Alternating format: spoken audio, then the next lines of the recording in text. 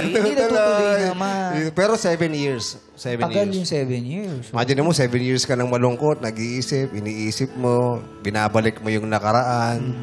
Kaya nga, napapansin siya ng mga kumari niya, hindi po ba? Na medyo Lungkot malungkot. siya. Oo. Kasi nga, syempre, mag-isa.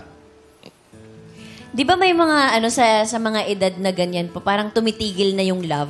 Parang yung Yung love iba, niyo po, oo. binibigay niyo na lang sa anak, Sa apo, yan. ganyan. Nakakalimutan na yung sarili. Yes. Oo, Kaya, pa- ang tanong natin, nung nawala si Mister, ano po yung ginawa nyo para medyo makalimutan yung nangyari? Malibang. For seven years, ano pong ginawa nyo? Ah, bali ano lang, banding-banding na mga kumare, ganun lang. Shot-shot? Shot-shot. Siyang puno. Ayun! Ayun pala eh. Ayun sa, pala. sa, saan po kayo gumigimik? Gumikimik! Sa Pobla, baka nagpo-Pobla. Sa Laguna. De, de, saan po ba kayo Poblasyon, nag-shot-shot sa ng mga poblasyon. kumare? Mga Sa. Laguna. Sa Laguna. Oy. Sa Laguna? Ano pong ginagawa nyo sa Laguna? Swimming. Ah, bali, swimming po, ganun. Sa Las Bañas, ah, sa La- Barkada, ganun, Kalamba, sa kumare. Pansol. Pansol. Panson? Siniloan po. Ah, siniluan. Overnight po yan, mga ganyan. Ay, hindi po. Ay, ay baka kasi magalit yung parents nyo. Baka, baka strict yung parents ni nanay. Stricto, stricto. Kamusta pong apo si Julie? Kamusta pong apo si Julie? Kamusta Ah, siya? mabait yung apo ko na yan. Yan ang nagpapasaya sa akin. Oh. Eh. Ano po mga ginagawa ni Julie na nagpapasaya po sa inyo, Nay? Ah, madalas siyang, Mami, kain tayo. Mami, ano tayo? Mami, gusto ko kumain ka ng marami para tumaba ka. Lagi po akong sumasama sa kanya. Pag, kunyari, uuwi siya ng Laguna, kasama yung friends niya, sasama ako sa kanya. Ganon. O paano, halimbawa, may makakadate ngayon si Nanay Nilda. Sa sakto, ka din ba? maglola kayo, tapos ang date nyo sa Lola Ote Restaurant. Oo. Kasama mo ba si Lola Nilda? Kung gusto niya po.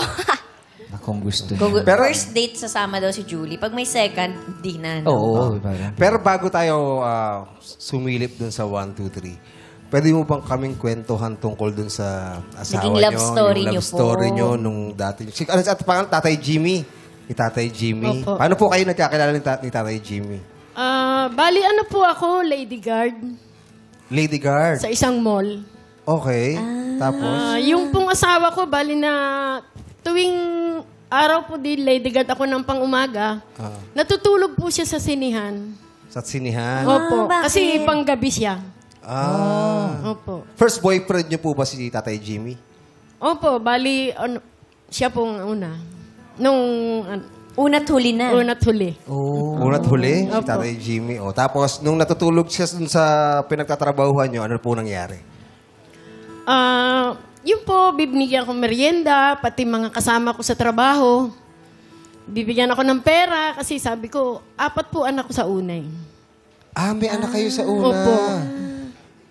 Paano po naging una si Tatay Jimmy? Baka una, unang, Baka muling tumibok ang puso, Lini. unang boyfriend. Oo, Baka na- pero unang- may ibang ano. Ah, pero meron, pero meron na kayong anak bago niyo siya nakilala. Kilala. Apat na yung anak Apat niyo. na yung Opo, anak. apat na Oo. po yung anak ko. Eh, nasan na po yung, Una. yung tatay ng mga anak nun? Bali, hindi ko na po siya nakita. Ah, bakit po? Kasi po, iniwan ko siya nananakit. Ganun lang po. Ah, kaya kinalimutan na ni Nanay Opo. Nilda. So, naiwan sa inyo yung apat na anak. Opo, kinuha ko po. Hindi Lahat. ko po sila iniwan.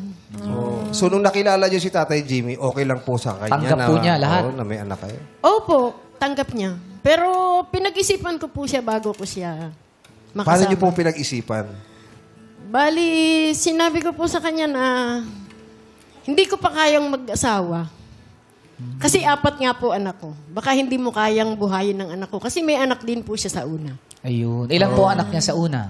Tatlo po. Tatlo. Bali, ano, pito yan. Seven, Ano, oo. So, ano po nangyari? Nagkaigihan naman po ba kayo? Five years siya nagpaligaw. Wow, five years! Ang